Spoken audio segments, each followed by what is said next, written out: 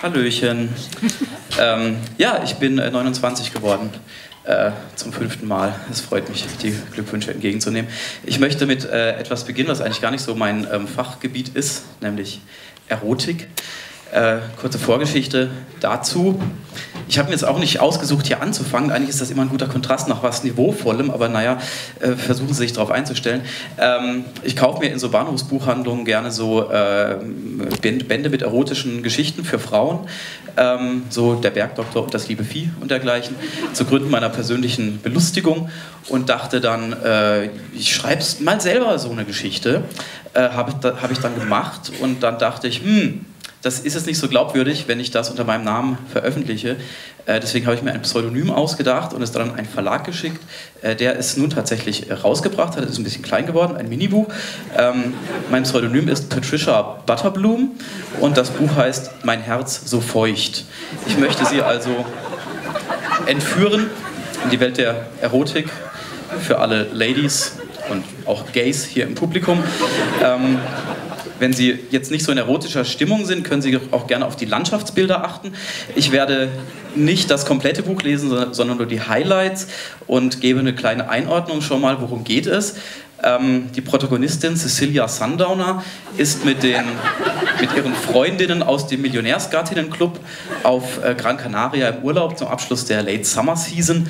Und eigentlich dreht sich das Buch nur darum, dass sie dem spanischen Kellner hinterher schmachtet. So, nun lehnen Sie sich zurück, genießen es. ich werde auch meine erotisch mögliche Stimme aufsetzen. Cecilia Sundowner und der stumme spanische Kellner. Er hatte kein Wort gesagt und hatte sie doch nach dem ersten Blick erobert. Noch nie hatte Cecilia Sundowner ihren Espresso nebst Spritzgebäck mit einer solchen Grandezza vorgesetzt bekommen, wie der schöne spanische Kellner sie verströmte. Seine Bewegungen waren so geschmeidig wie ihr Wintermantel aus jungem Fuchspelz.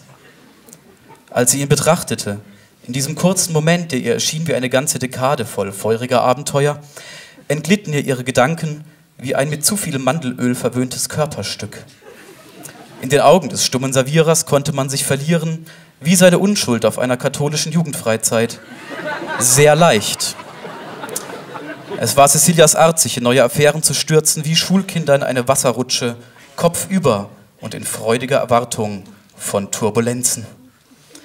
Die Front seines Oberkörpers, äh, kleiner Handlungssprung.